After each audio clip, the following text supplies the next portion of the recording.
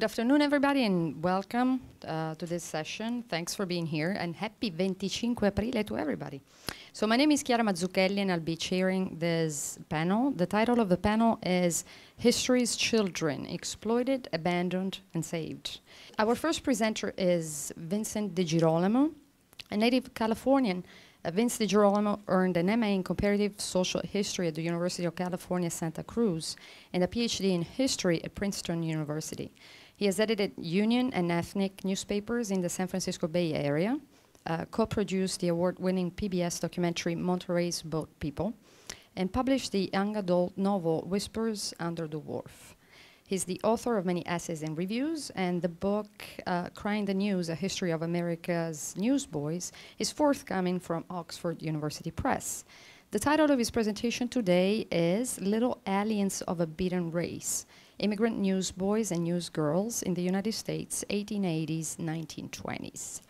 Today, I'd like to talk to you about one of the most iconic and insistent figures in American history, the newsboy. Uh, for centuries, no sound was more urgent, exasperating, or quintessentially American than the cry of the newsboy. Here is your bloody news, yelled peg-legged Jemmy McCoy as he made his way down the cobbled streets of Philadelphia in September 1776, just days after New York fell to the British. 85 years later, a little villain in Providence created a commotion hollering, Fort Sumter is vaccinated and blown up. Extra traveler, extra journal. Trouble was he made it up. The evacuation and bombardment uh, that sparked the Civil War would not occur for another two weeks. Skip ahead to June 1937, and we hear Chester and his pal shouting through the streets of New Orleans, Louis KO's Braddock their voices brimming with pride that a Negro like themselves had won the heavyweight championship of the world. But pride quickly curdled into fear when a white man told them to shut up with their papers, stuck a gun in their backs, and marched them four blocks out of the neighborhood. So it went for America's newsboys. They carried vital intelligence to a growing nation of readers, shamelessly bamboozled them if opportunity arose, and faced the animosity of those who couldn't abide their message. Even if sometimes unreliable or obnoxious, newsboys performed a valuable service retailing the breaking news that would become America's history. Yet their role in that history uh, has largely escaped serious historical study. Who were these children? Where did they come from? And what can they tell us about the American experience? My book, uh, Crying the News, tries to answer these questions Newsboys, I argue, came to personify the spirit of capitalism in America because of their low rung ubiquity, uh, not in spite of it. Their mythic ability to overcome and even benefit from poverty has served to reinforce the legitimacy of the capitalist order and the attainability of the American dream, uh, especially for immigrants. Uh, no one subscribed to this myth more fervently, fervently, than some of the boys themselves, including Frank Capra. Uh, born in Sicily, uh, 1897, his family emigrated to America when he was six years old, and he started selling papers almost immediately. And here is a quote from his autobiography I hated being poor, hated being a peasant, hated being a scrounging news kid trapped in the sleazy Sicilian ghetto of Los Angeles. Um, uh, yet he also acknowledged that he began to think of himself, quote, as another Horatio Alger, the success kid, my own rags to riches hero. Uh, today, I want to focus on this cohort of immigrant newsboys and girls who came of age at the turn of the 20th century. This is the period when the first newspaper chains emerged, uh, when new technology like bicycles, subways, automobiles, and vending machines uh, were transforming the trade, and when social reformers began to agitate for regulation. Yet nothing affected the news trade so much as the arrival of 8 million new immigrants in the closing decades of the 19th century, followed by another 13 million between 1901 and 1914. These foreigners and their children profoundly altered the demographic profile of America's newsboys, the accents of their cries, and the meanings attributed to their work. Uh, new arrivals still came in large numbers from Germany, Britain, Ireland, and Scandinavia, but the majority now hailed from the southern, southern and eastern Europe. With no bars uh, uh, to entry, the street trades absorbed them like a sponge. In 1882, fully 80% of Cleveland's licensed newsboys and bootblacks were Hungarian Jews. The Irish street boy goes before him as does the snow before the spring sun, lamented the Cleveland Herald. The same trend held in New York, Chicago, Boston, where the Irish steadily were displaced by Jews and Italians. Some of them are smart, smarter than most of their Gentile rivals, conceded the New York Sun with regard to the Jewish newsboys. The National Police Gazette, however, disparaged Italians in Baltimore as Tony newsboys who affected a ridiculous aristocratic style. Uh, the Catholic world uh, distinguished between the steady Northerners and the voluble Southerners, but said both were obsessed with money getting. No wonder they think you can pick up gold in the streets of America, said the paper. This is literally, literally the case with those whose children are newsboys. Chicago muckraker William Hard attributed the rapid rise of Italians in the trade uh, directly to their ethnicity. The Italian boy is almost as good a bargainer as the Jewish boy, he said, and almost as good a fighter as the Irish boy but the two qualities together render him almost irresistible, especially when combined with his marvelous power of persistence. Uh, if Jews and Italians quickly emerged as the smartest, toughest, most tireless traders, it was because of they were the hungriest. Uh, these two groups typically brought $8 in cash per capita to the United States compared to $13 for the Irish, $25 for the English, and 48 for the Germans. Uh, their children's income became even more important after passage of an 1891 law that allowed families to be deported if they became public charges within a year of arrival. Uh, the loss of a newsboy's earnings deepened such worries, as is the case of 13-year-old Giuseppe Magalto of New York, uh, who died February 1891 in a fire at the City Hall post office, where he had crawled into a ventilation chute to escape the cold the press reported that his death would be a severe loss to his mother and father, as he was the eldest of six children and made seven to eight dollars a week. The headline you'll see uh, sort of uh, called attention to the fact that the mails were only slightly delayed. Um, such tragedies led middle class observers to cast aspersion on immigrant mothers and their child rearing practices and fertility rates, you know, what kind of mother could it be that possessed such a hard heart to send her maybe to sleep in the newspaper office so she don't have to get him up in the morning? Uh, and then another, uh, you'll find that the newsboys, and they always come from the largest fact, uh, families. They're like animals, these Italians. They produce as freely and naturally, and they expect the children to look out for themselves as the animals do. Uh, these anxieties were heightened by the fact that the size of middle class families was uh, shrinking uh, due to later marriages and, and improved con contraception, the native born uh, families. Uh, the camera wielding uh, reporter Jacob Riis and many newspapers contributed to this bias by calling attention to the Italians' squalid neighborhoods and supposedly violent natures. In New York, a whole colony of Italians thrived amid, quote, mud, microbes, and macaroni said the Washington Post. The fat, brown, ragged imps romp in the gutters and play at being organ grinders and rag pickers, or stay in the gutter and develop into cutthroats, newsboys, or bootblacks, or get run over.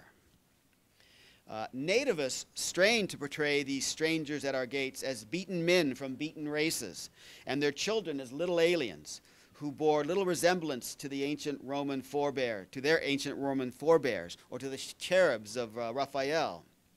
Xenophobes also took issue with the children's Catholicism, uh, saying that their blind obedience to the church made them poor clay for citizenship.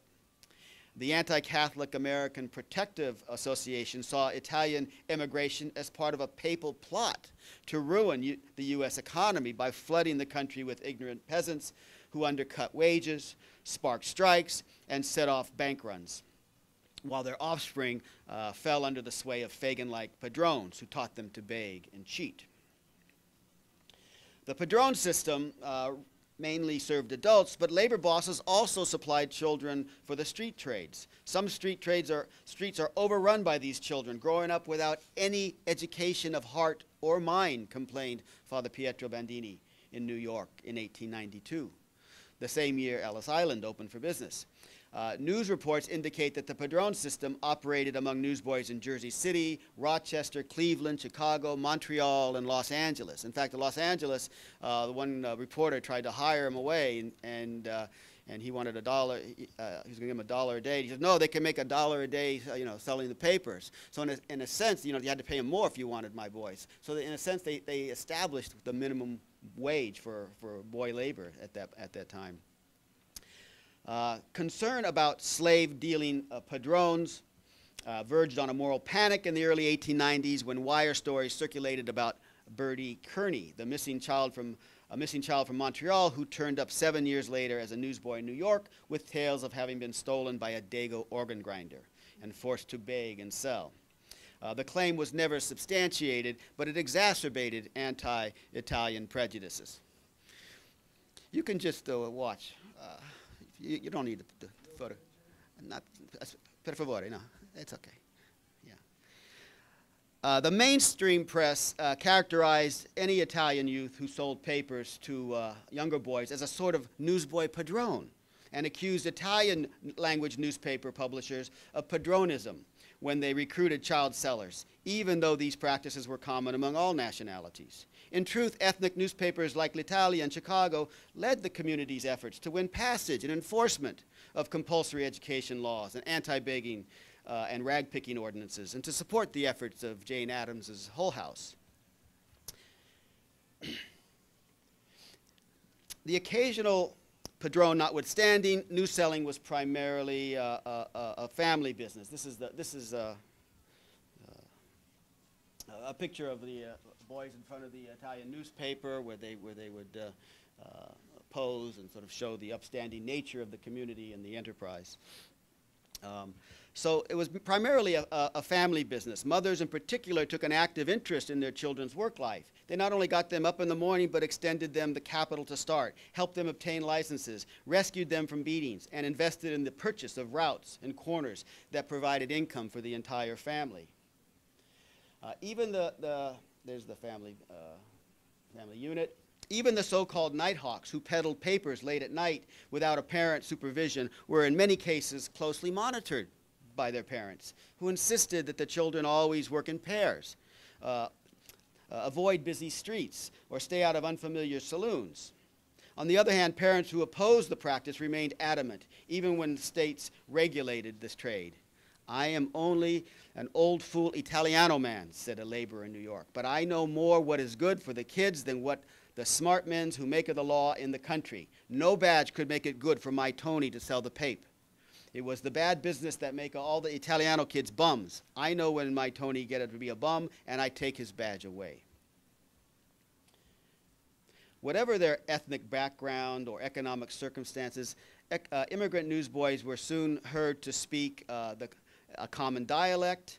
Uh, Irish, Italian, Jewish boys in New York cried Rextry or Nextry when hawking extras and swiped a base or chased a rub when playing ball. Immigrant newsboys uh, never hollered headlines in clear English, said the Washington Star, but in a weird patois, partly Yiddish, partly German, partly Italian. The Woil, the Choino, the, ho the Hoil, the Herald.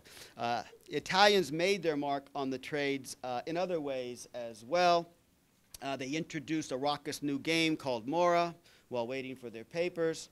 Uh, Rafael Guerrero of, of uh, Chicago preferred to make charcoal sketches on the pavement. Uh, Monak or, or, Orakovsky of Duluth, Minnesota, meanwhile, uh, gained fame for his harmonica playing. Uh, ethnic differences sometimes spawned uh, rivalries. in the trade, native-born newsies in many cities adopted organized labor's hostility toward, I asked you not to take a picture. Do you, do you mind? Okay, that's all right. Okay, sorry. Um, um, so they had rivalries in the trades, and uh, such protests, uh, uh, uh they adopted, yeah, labor, or adult organized labor's hostility towards the Italians and, and, and mounted strikes and boycotts against the newcomers. Such protests were so common that James Otis made one the subject of his 1894 novel, uh, The Boys' Revolt, a study of the street Arabs of New York.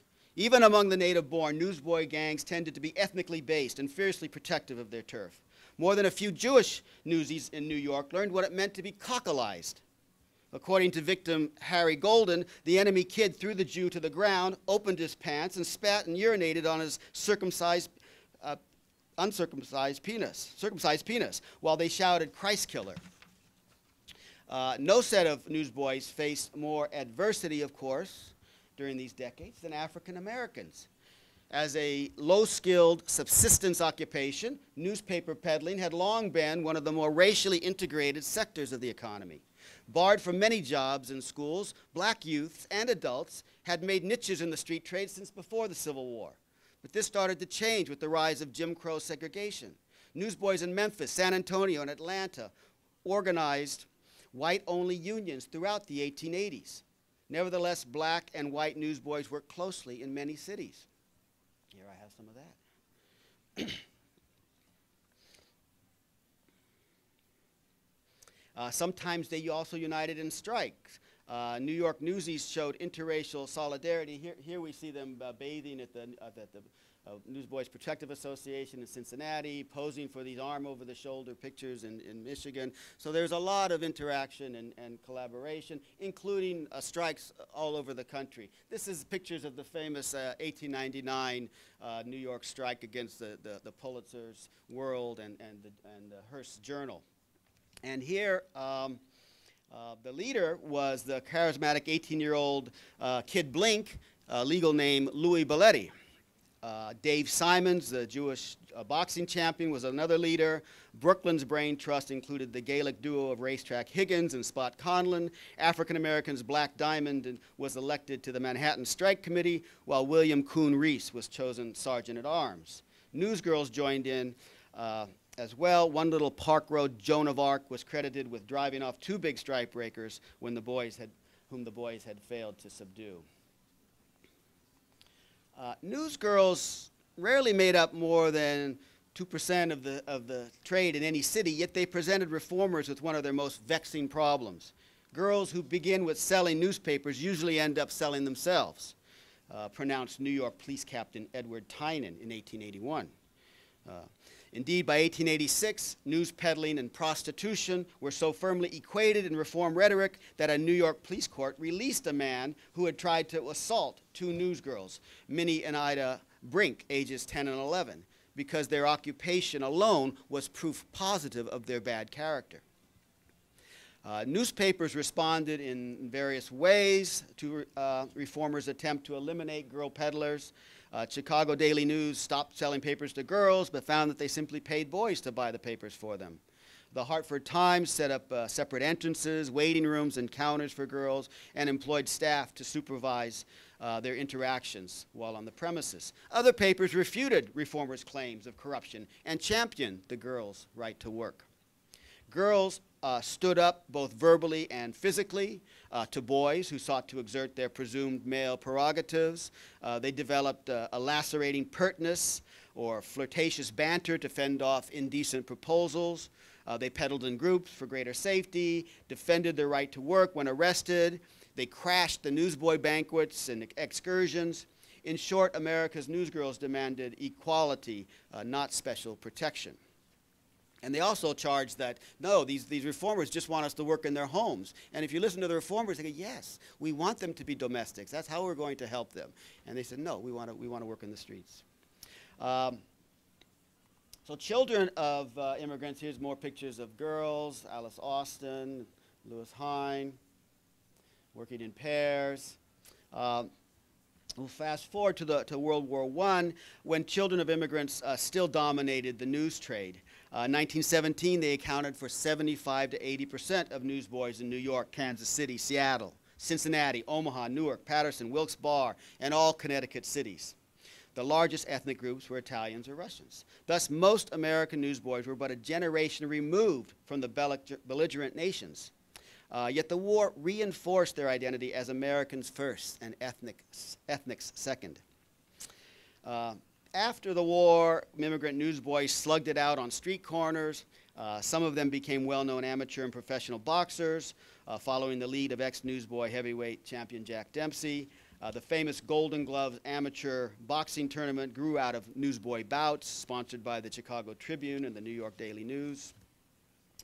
Um, uh, complicating the myth of success was the newsboy's growing prominence in electoral politics uh, during the 1920s. The politician who best personifies personified the urban ethnic working class ethos of the newsboy was the New York uh, Governor Al Smith.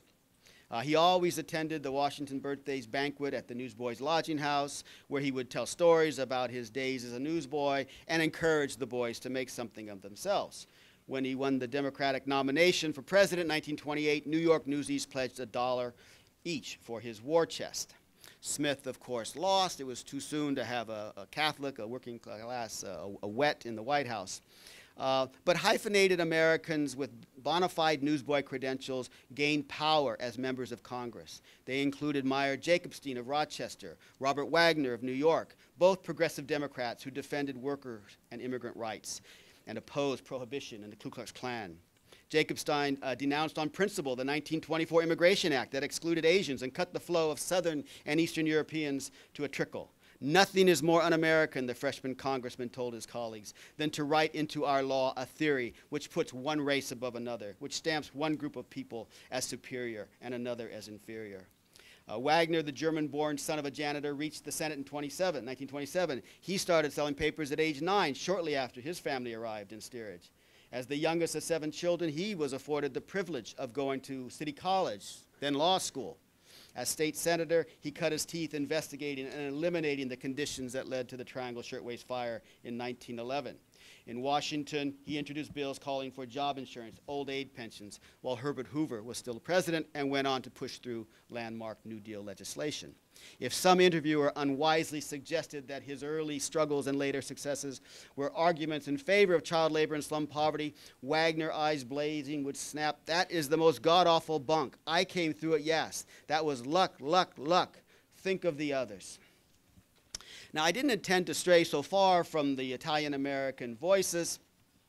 Uh, but I think that the Smith, Jacobstein, and Wagner lead directly to my conclusion, uh, which is to suggest that uh, a focus on immigrant newsboys and newsgirls during this period shows that news peddling was integral to the welfare of all working class families, all kinds of working class families. It was integral to the socialization of their children and the development of their political consciousness, uh, not to mention to the economic fortunes of, of the newspaper industry. So my research indicates that Italian American newsboys and newsgirls shared more in common with their Irish, German, Jewish, and even African American counterparts than not. Theirs was essentially a class experience, inflected in various ways by their race, gender, or their individual, uh, uh, the shrillness of their voices. Uh, but in large measure, it was determined by their place at the bottom of the economic ladder. Thank you very much. So our second presenter is Luc Nemeth, a former teacher of economics and a PhD in contemporary history uh, who lives in France. Luc has a special interest in anti-fascism and Italian-American anar anarchism. Uh, he's also fascinated by questions of memory with published works about the historiography of the Dreyfus case. Luc is currently writing a biography of Michele Schirru. The title of his talk today is Talking with Spartaco Bob in Milan, Illinois. Thank you. I hope you will understand my English. Uh, as you already know from his name, Spartaco Schirru, born in New York, 1926, was the son of a Sardinian-born anarchist. Michele Schirru, later known Michael Schirru. This American citizen is known as having been condemned to death and shot in 1931 in Roma for his intention to kill Mussolini.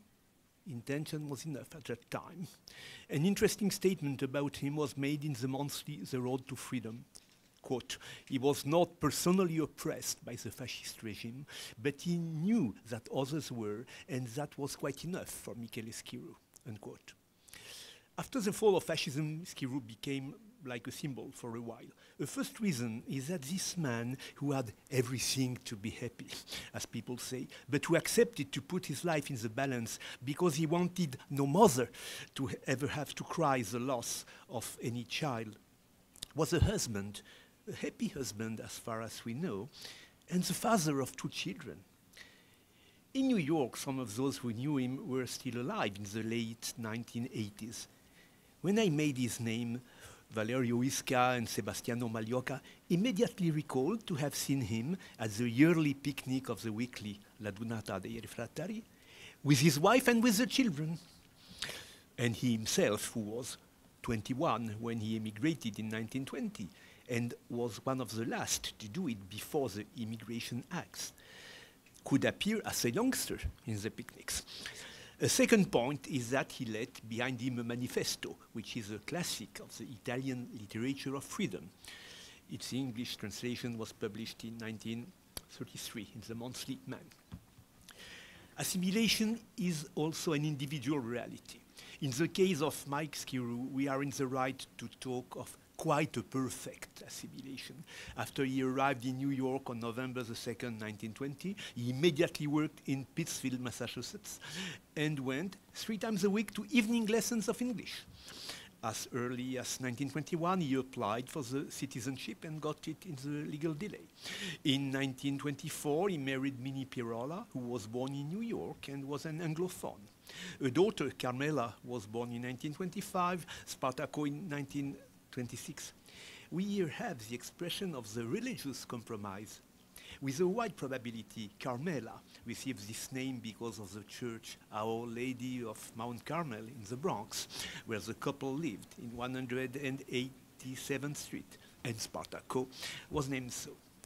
Interesting too, under the angle of assimilation, is the fact that the only belonging which remains from him is a complete set of the Encyclopedia Britannica in English. In New York, he got, a good position, he got a good position as a fruit merchant in Arthur Avenue, the Little Italy in the Bronx, and even made a lot of money thanks to the trade of bananas, which were not so cheap at that time. He began with his pushcart, uh, working 15 hours a day, and became a wholesale dealer. As often with the anarchists, there was no clear border between profession and private life. His closest friend, Joe Meloni, who named his own son Ateo, the atheist, had a trucking company in Baxter Street and picked up the fruit at the port. Another friend had a place to ripen the fruit. From their friend, John Vattuone, I learned that they used to gather at lunchtime to eat Sardinian cheese and to drink homemade wine. All of them were from the same northwestern area of Sardinia. Assimilation, even perfect, is consistent with the persistence of links with the native country and with keeping one eye open on the affairs of the world. Mike Schirru had both eyes open. He considered fascism as a local tyranny, but also as a threat for mankind. He thought it and he even wrote it as early as December 1930. At that time, there was no Hitler at the head of Germany. In his manifesto, he qualifies Mussolini as, quote, the monster who, always to satisfy his thirst for power, and with the complicity of all other European fascisms, will soon break loose upon humankind the scourge of another. Unquote. He also thought that those of the Italians who followed the regime did not want a fascist-like society, and that it was rather a link of submission which can only be broken with the suppression of its cause, like in the novel of Thomas Mann, Mario and the Magician. We have some reasons to believe him where he writes, since Quote, Since 1923, I have found myself thinking at times that in order to suppress tyranny, the tyrant must be suppressed. Liberty is not a rotten corpse that can be trampled upon with impunity. Unquote. But there is a gap between the thought that an act is necessary and the decision to be its author. In 1930, after 10 years spent in the United States, Mike Schirru went to Europe to visit his parents we emigrated in the south of France, near Avignon. While he was there, the unforeseen news, this is important, the unforeseen news of a trip of Mussolini to Milano made him plan to try something. From what we know, he was a person with strong nerves, But he had an Achilles heel, which was like an obsession. He feared the children to be christened while he was away. Therefore, he wrote Joe Meloni that because of a danger, he was not sure to be able to make return and expressed the wish that, in that case, the children grew up in the respect of his ideas. Words here are important. He did not want the children to grow up as anarchists. Such a brainwashing was not well seen in these circles, but he wanted them to grow up in the respect of his ideas. In other words, not to be Christian. The letter was seized when arriving in the United States, not by the New York City police, which did, who did not pay much attention to these Bronx people who did not violate any law further than uh, making wine home. It was seized by the federal authority and shown to the fascist consulate. From that moment, the name of Schirru was on the Rubrica di Frontiera in Italy without he knew it. But he was uh, arrested in Roma in February the 3rd, 1931. Another tragedy in family happened two years later in 122nd Street, at that time Italian Harlem, where the mother and the two children had moved near the rest of the family. Carmela was deadly hit by the van of a drunk driver when she crossed the street after the kids were all playing were called in to dinner and ran. This was too much for Minnie Pirola, who was to spend the rest of her life in mental hospital. Joe Meloni then offered to adopt the boy, if necessary, but eventually it was not, since Minnie's sister, Maggie, was a widow with uh, seven children. Spartaco just became like the eighth one, and the grandmother was still alive. During our talks, he made a short allusion to these years and said he had been well treated, but I didn't want to insist more than necessary about this period of his life. It was only in 2010 that I knew more, than, thanks to a family inquiry which was made for me by Michelle. She was here with us, the daughter of Spartaco. It appears that in the 1930s, this adoptive family just received from home relief a little food and clothes. But in his misfortune, Spartaco had the consolation to be loved like a brother by Frankie, one of the sons of Maggie. The two kids uh, shined shoes for money. They sold papers. They sold sodas from a wagon, anything to get money. And the eight kids did piecework at home for a sewing factory. At the age of uh, 10 or so, Spartaco was Christian and given the name Robert, but he still used this one that he liked.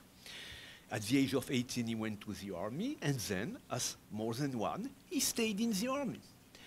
He was first sent to Germany and married Simon, Belgium born. He also went to Korea, to Vietnam, and after 22 years, entered the civil service. When I met him in 1988, his career as a soldier was quite the first thing that Spartaco told me, with a touch of fatalism, quote, I'm not sure that this is exactly the kind of a career that my father dreamed for me, end quote. I added a banality and we skipped. We also did so when he said he was glad that TV was existing because, at least, quote, people now know that war has nothing glamorous, end quote. I also remember that when we had a tour by car in the area of Milan, Illinois, where he and Simon lived, and when we saw an arsenal of arms, he said, I hope they will never have to be used. But significance of the weight of the past was an allusion he made early in our talks, where Vietnam was concerned. When I mentioned Sacco and Vanzetti. It was just to tell him uh, shortly uh, that I had met the grandson of Sacco in Paris. And I did not insist. But he did it himself with evocating Joan Baez, known as the author of Here's to You, Nicola and Bart, and also as the leader of protest song against this war. But he only spoke of Here's to You and added, I've been told that he she also sang things not very kind to us. He said us, American sources. This is sure. But significant was the priority he gave to Here's to You upon the other songs. Then, from the words he used about his father, it was clear that his interest did not concern the only person, nor the only plan against Mussolini, and that he hoped to know more. He even formulated, quote, in this affair, I had the feeling not only to have been deprived of a father, but of the possibility he would have had to make me know his ideals, unquote. I also noticed that every time we talked of the past, he rarely said my father, but rather the ideals of my father.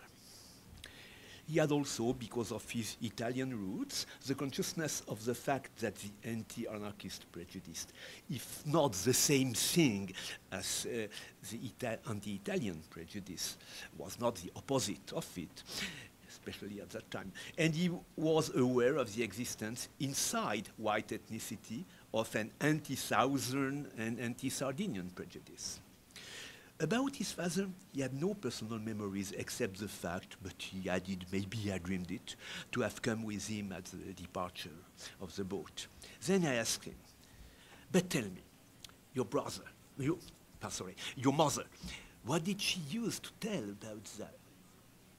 His answer was to prove that people sometimes know more than what they believe, and that a negative answer is sometimes a valuable precision. My mother? She didn't talk a lot about that.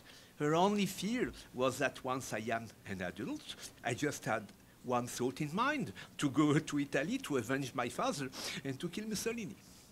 I made names. Does the name Schiavina sounds familiar to you? Raffaele Schiavina was from 1928 till 1971 the editor of L'Adunata dei Refrattari, where the manifesto was published in 1931. No. Does the name Recchioni sound familiar to you? Emilio Recchioni from London was in the closest touch with Mike Schirru when he prepared his action. No. Then I tried, I made a third and last name, does the name of Joe Meloni sound familiar to you? He smiled. Joe, for sure. Every summer he used to pick me with his truck, the, and we had a tour for some days. But as we can imagine, the priority for Joe was the boy to have fun, not to be bothered. Nor would have been easily explained in English some Italian roots of this uh, ideal. One of the few allusions he might have made was something that Spartaco was able to receive. He told me to have heard that his father was a friend of Toscanini. I'm unable to tell you if Mike and friends ever personally met Toscanini, gone for shopping to Arthur Avenue. But the friendship, pardon, the, the friendship of uh, the maestro with Ladun, oh, uh, problem? But the friendship of uh, the maestro with L'Adunata is a well-known fact.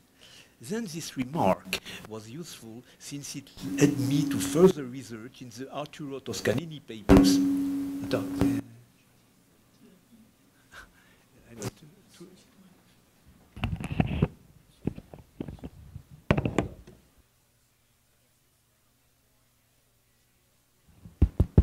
Thank you. Well, Thank you. Uh, then this remark was useful since it led me to further research in the Arturo Toscanini papers, uh, now at the music division of the New York Public Library. The research which confirmed that at the end of the Second World War, a time when Italy was craving, it was thanks to Walter Toscanini, the son who shared the ideals of the father, that L'Adunata dei Refrattari was able to send all what could be, especially for children. In the own case of uh, Spartaco and family in 1931, the paper gathered money thanks to a subscription which lasted for several months and to theater plays. Uh, in the early 1950s, Spartacus paid a visit to his father's side grandparents, still alive in Sardinia. The name of Schirru was becoming forgotten in Italy. he told me, I always thought that if my father had been a socialist or a communist, he would be nowadays celebrated in Italy as a national hero. Then this story was not written. Anna Lorenzetto, the author of the brilliant article published in Il Ponte in 1945, didn't want to write it before having checked the content of foreign archives. This was wise, as she explained when I met her 40 years after. Nor the anarchist movement wrote it both for reasons of uh, uh, hostility against L'Adunata dei Refrattari, considered as a bunch of individualisti, uh, anti-organizzatori, and so on, and of the fear of the existence of a secret. Was not Schirru betrayed in 1931? Eventually, the biography was written in 1983 by the communist-like Giuseppe Fiori, without uh, any use of the foreign archives. Spartaco himself checked the archives of the Department of State in the late 1950s, but he did not find much, and even had the feeling of some high-level interest, a recent high-level interest of the authorities for uh, this file. He was right. At the place of one of the documents, a note reads, quote, the letter with any enclosures bearing this file number has been written to the Federal Bureau of Investigation via the Office of Security, July the 1st, 1957.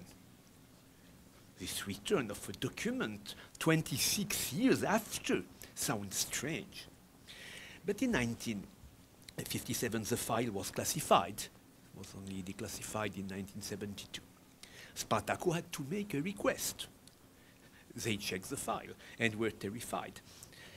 At the time of 1930, the Department of State was in such a closeness with the Italian ambassador in Washington that he transmitted every month the list of the American citizens, I say American, who had applied for the passport. Of course, the Department of State archives have been purged of the most incriminating material, but in the Italian archives, in Roma, I came across the copy of a December 1926 letter from the Under Secretary of State, William Richards Castle, obviously the one who wrote the uh, speeches of Lindbergh at the time of America First Committee. Letter sent to Giacomo De Martini. It De Martino. It reads, My dear Mr. Ambassador, I thank you for the various lists you have sent me of Italian anarchists we are having them carded. Of course, you will realize that if they are not American citizens, it might be exceedingly difficult for us to check upon them as they leave the country. Those who are Americans we should always know about because they would have to have passports, and when passports are issued, I shall be very glad to let you know confidentially and uh, unofficially. To conclude, now I will add that through some questions and remarks, Spartaco was of a direct help to research, and he was also even of a posthumous, posthumous help. He passed away in 2005.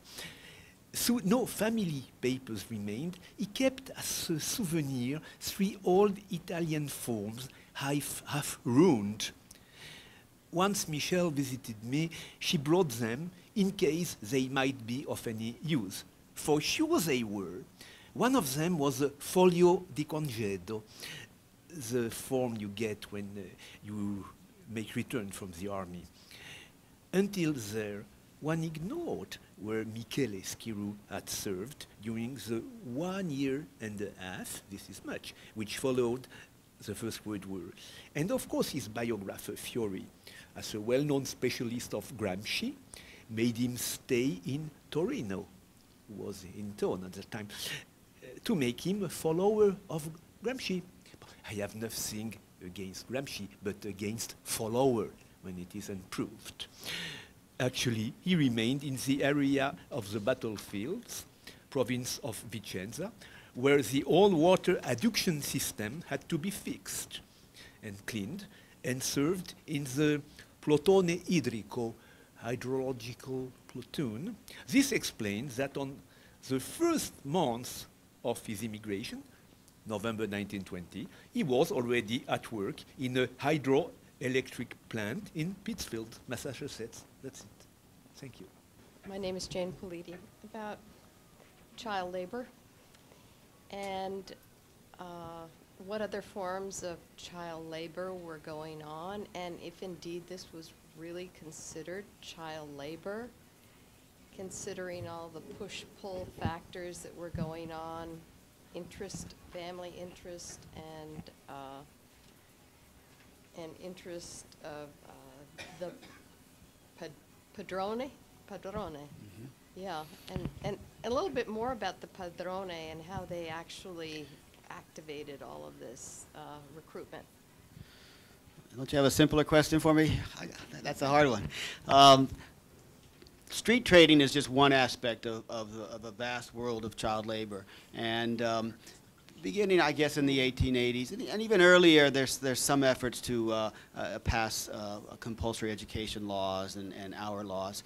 And so what happens is that the, the um, certain industries uh, are targeted first because it's easier to, uh, to uh, supervise and regulate and investigate. Uh, and so the street trading, uh, when, when the mines and mills and the, and the factories are being regulated, the street trades are, are, are the least regulated. And so, and so, um, and, and, and, and one reason is, is because, you know, is this child labor at all? And, and the, uh, the newspapers are saying, this is not child labor, this is an opportunity for them. This is, this is a form of work, uh, but it's a kind of a play. And so the very definition of child labor is, is, uh, is contested. Parents, too, are saying, this is, this is what we have kids do. This is okay. They got to earn their own keep, pull their own weight. Um, and, uh, and so there's not a lot of uh, conforming by, by, by parents, although, although there's a variety of responses. So, um, so the street trades is, is a, a unique uh, aspect of the child labor. And uh, the padrones, uh, more about pa- padrones. Um, I, I just have found like a, a, dozen or two newspaper references and, and little uh, inquiries, which uh, there's a lot there's a lot of uh, um, exaggeration and fear mongering, and so it's hard to tell exactly, you know, if we're dealing with a padrone situation or if we're dealing with the kind of uh, anti-Italian fear mongering. Um, but it, it appears that there was some, and there's definitely some in the the, the boot blacking industry, um, and, uh, and children were, uh, you know, in, in not completely free. When did we see the end, pretty much, of the um, news voice? When did it really stop happening? Um, well, you see, you see young men on the streets today in front of the subway stations, and um, in the 1970s, uh, Oakland Tribune uh, had uh, uh, African American kids in Oakland. Uh, it, it really wanes in the in around the 1950s with suburbanization, uh, but there's but there's still during World War II era there's still plenty of kids who are selling. The uh, the, uh, uh, the the delivery becomes more traditional and more continuing, but there there's still there's still hawking. There's still and, and, and even then, it, it's work sometimes for children, sometimes for adults, always for immigrants, always for poor people at the bottom of the society, always for people who, uh, who have uh, no language skills or limited language skills. And so if you go, if you, you know, I don't know if you get your New York Times, but if you go to the depot and, and you'll, you'll see, you know, and hear, uh, you know, Africans and, and uh, Central Americans and Asians, and, and it's, the, uh, it's these people who are uh, adults who are, who are doing the job now. They were both really fascinating interventions and speeches. And I have questions for each, for both. First, um, remember your name, George, Vince.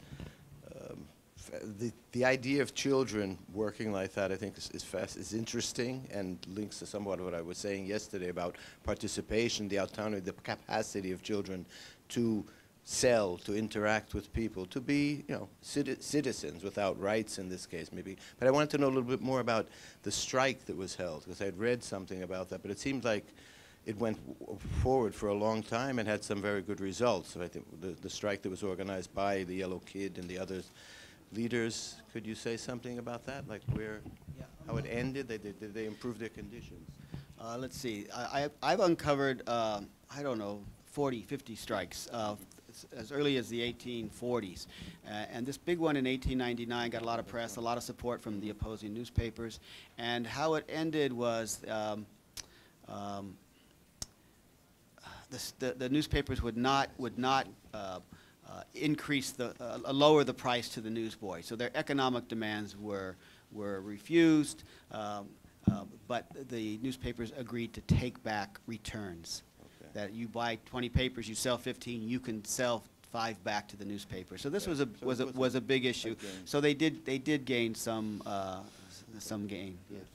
For Luke, I just want a little more detail. Maybe everyone knows. I might be ignorant about this, but how, how did how did the actual um, Mussolini assassination attempt occur? Did it actually occur, or was he arrested only on the basis of having written a letter and being? Uh, He was arrested on the basis that his name was written. That's all? in The Republican. No, no, he Okay. was not. Be, he was not. Be, he was not betrayed.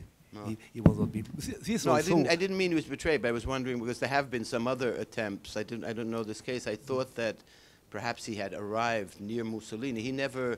Uh, he, he- he once he once arrived near Mussolini in 1930, Mm-hmm. and uh, Mussolini paid a visit to Milano, and Mm-hmm. he was. Uh, Perhaps uh, three meters from Mussolini, but Mussolini in a bulletproof with Yes. a, a car with uh, bulletproof windows, and uh, he wrote, later he wrote to a friend, "I- immagina, non, non posso immaginare una cosa, but, uh, uh, it was terrible. And he understood that uh, the will is not enough.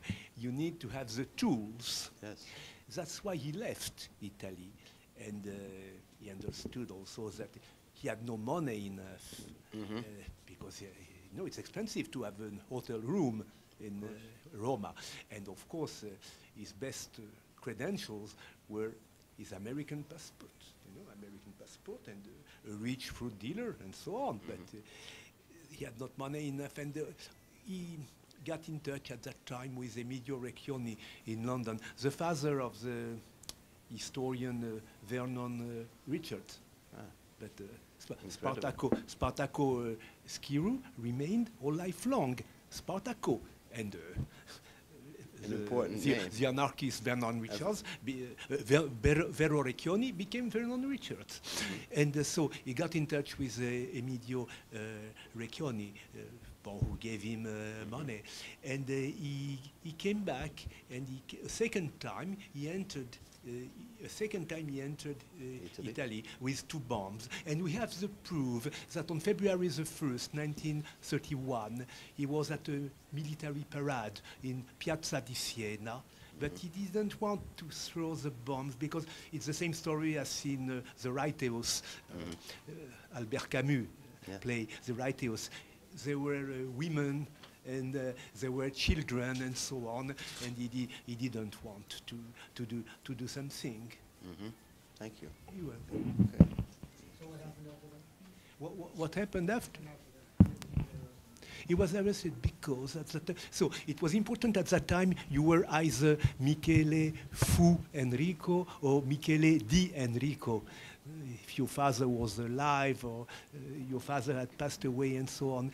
And he gave his name, this family name, but with another first name. No, another name of his father. Uh, the father was Giovanni, he said Fu Enrico.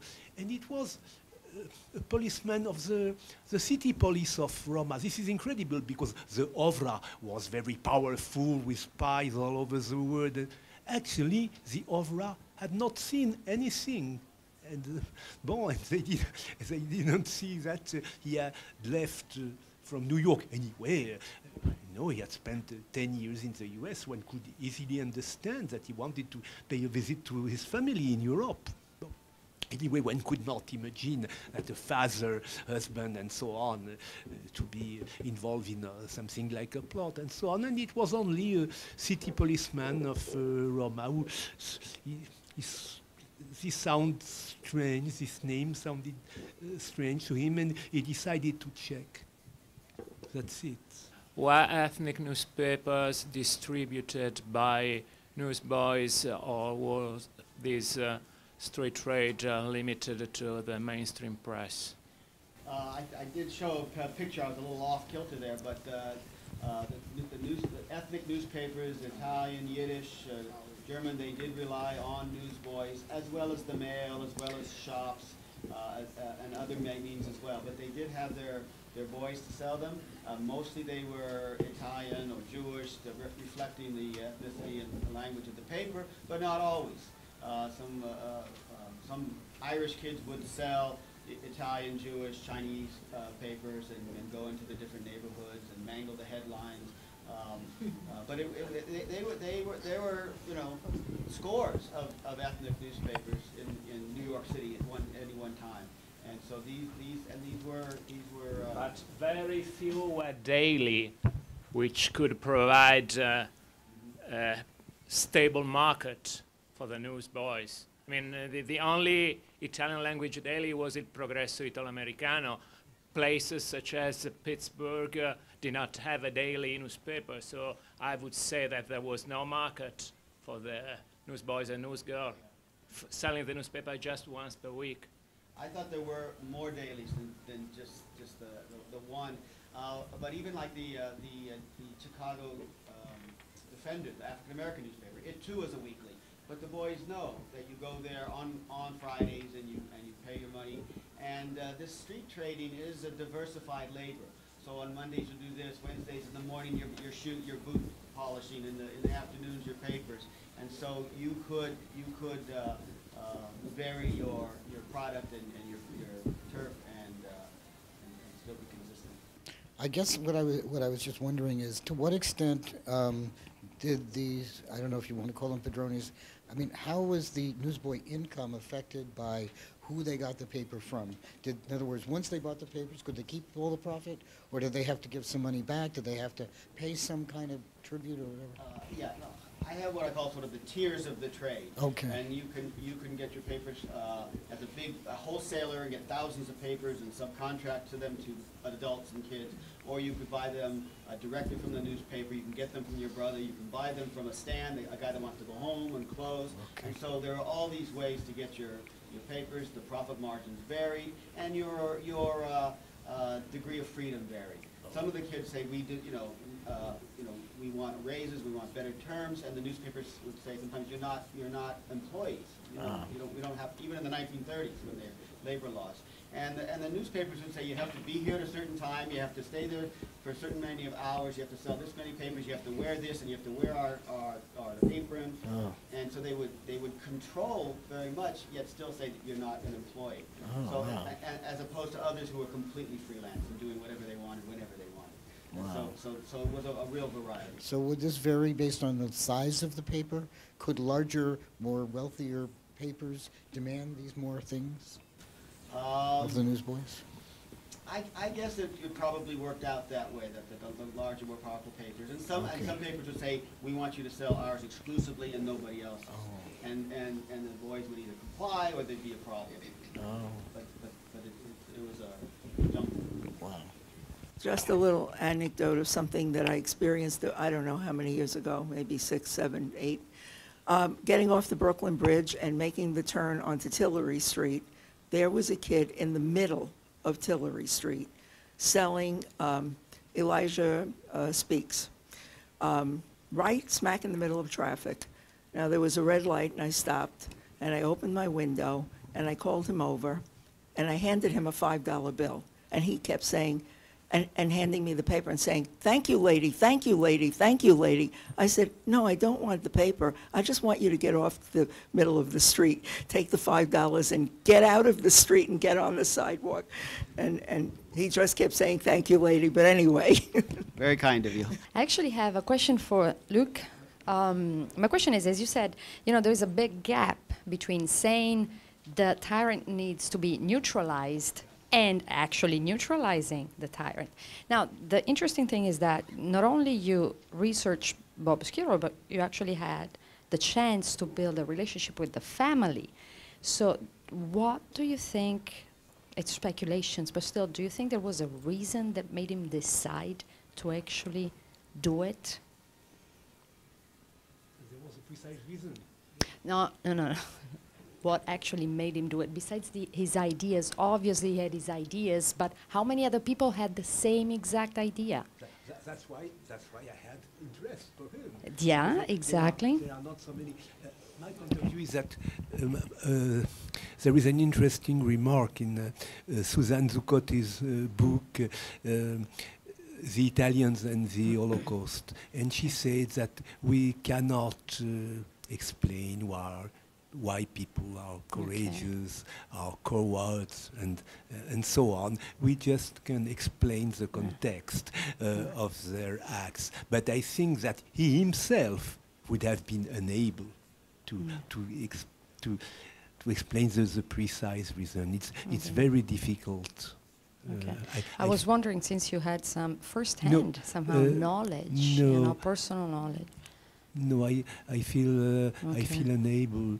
Uh, anyway, the circumstances, of course, are very important. The historical context. Anyway, for instance, in no case uh, he planned to use uh, bombs. Uh, for instance, in the American context, of course, he did not uh, approve uh, any aspects of. co- American society, but he didn't plan, for instance, to use bombs. No, th- there was a very precise context, which was the fight uh, against fa- Mhm. again, against fascism. but what your question is interesting because he also considered that nothing was going uh, to change in Italy without, uh, let us call that a revolution. He, he did not consider this act as the end, but rather as a start, Beginning. which was going to, to break the link, the- the- to Yeah. break this link of like hypnotic, hypnotic link Mhm. between uh, Mussolini.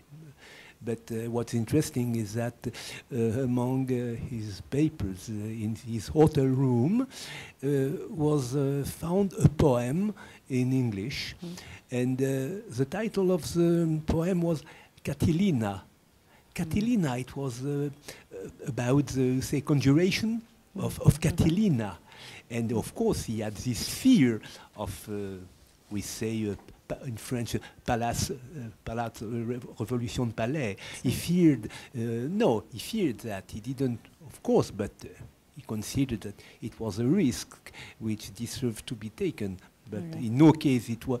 Anyway, uh, he, he wrote that he had uh, nothing uh, against the person of uh, of Mussolini, but about the symbol. Damage to the country, yeah. And he wrote it in his uh, political uh, testament, we say in French. Uh, bon, I don't like to use the word uh, testament with respect to the family, but let us say his manifesto. And uh, he explained perfectly that uh, no, he had uh, nothing against the no, of course, he had no sympathy for the person of Mussolini, but nothing against uh, Yeah, Mussolini. person.